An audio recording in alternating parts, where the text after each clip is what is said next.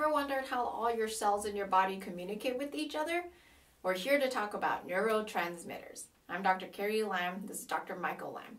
So you have many, many neurotransmitters, but we'll touch on a few today. The first one I will talk about is dopamine. Dopamine is the neurotransmitter in charge of your reward center.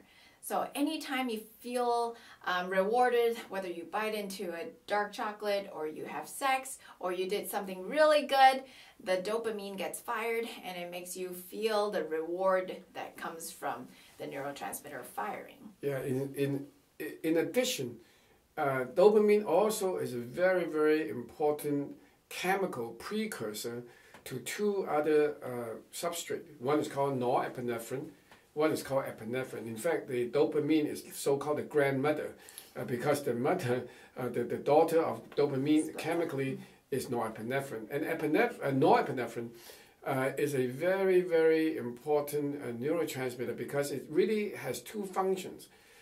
In the brain, when it's first activated, it is a local uh, messenger where it acts as a stimulant to cause anxiety, and alertness. So if you are staying up in the middle of the night because you have an important project, it's the norepinephrine that's firing that keeps you on alert. Of course, we know that street drugs, uh, like amphetamines, are, or even some um, medical um, uh, medications such as mm-hmm. Adderall, uh, are using this principle to keep people on alert, uh, such as uh, Adderall, as I said.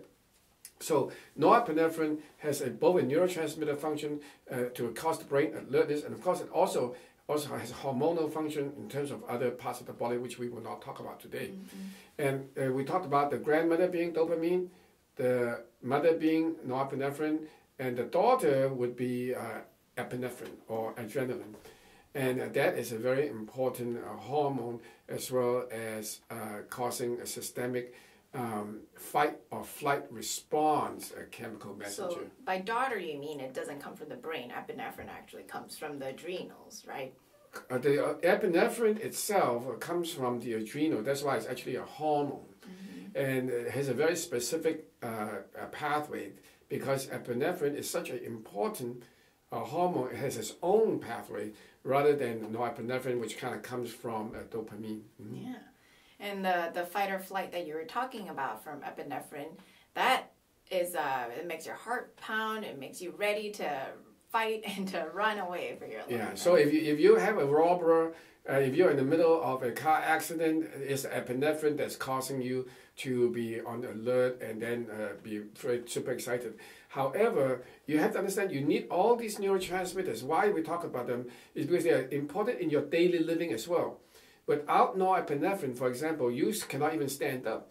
So the body self balances these new dopamine, norepinephrine, epinephrine, and of course acetylcholine, which is the parasympathetic nervous system. Right. And then plus other ones is the body's automatic balancing of these systems and um, hormones and neurotransmitters that causes you to be stable. And if you're off on, for example, if you have over uh, norepinephrine, you're going to be anxious and possibly having heart attack. Mm-hmm. If you have over epinephrine, you're going to have feel these adrenaline rushes going through to your body, for example. So all of these have very specific clinical ramifications if it is imbalanced. And so talking about the balance to the sympathetic system, you have the um, acetylcholine, which is with the parasympathetic system, the mm-hmm. rest mm-hmm. and the digest to, to balance the fight or the flight. And the acetylcholine is very important also in your gut. Like I said, digest. Um, it helps you calm you down and help you breathe slowly and things yeah. like in that. In fact, one of our our key um, modulators of our uh, mood, uh, if it were to calm things down, is to enhance parasympathetic nervous system. And the ultimate target neurotransmitter responsible for this is serotonin.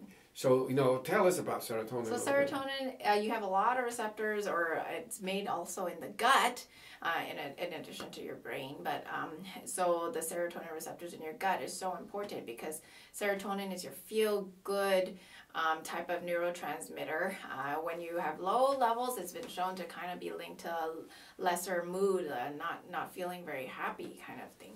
And so, the serotonin in your gut um, all the serotonin receptors in your gut is also very important. So if you have a uh, imbalanced gut, your neurotransmitters might also be imbalanced, especially the serotonin. So we talked about a lot of technical terms today. So don't get carried away, you know, in terms of being hang up on it. The, the important thing to understand is that each one of these, you know, have very specific outcomes if it is not balanced. And so it's important that the body do the automatic balancing, which it has the ability.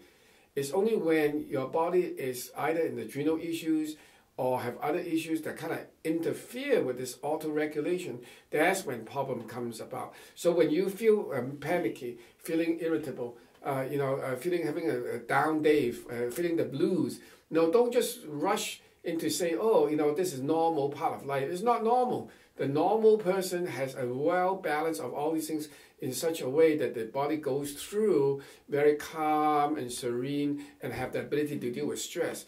If you are missing that uh, connection, then there's something that could be wrong with your neurotransmitters. Right.